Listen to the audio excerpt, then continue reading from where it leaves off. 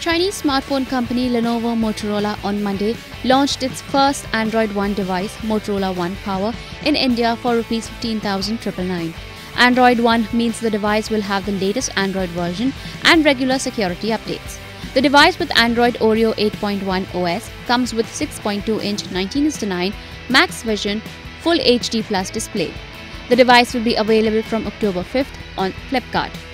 There's a Qualcomm Snapdragon 636 1.8 GHz octa-core processor coupled with 4GB RAM and 64GB built-in storage that can be expanded up to 256GB. The smartphone has 16 megapixel plus 5 megapixel dual rear camera system along with a 12 megapixel front camera.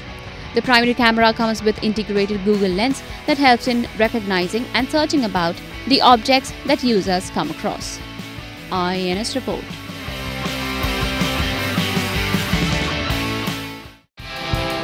Subscribe to our channel. Just click on the bell icon for all the latest updates.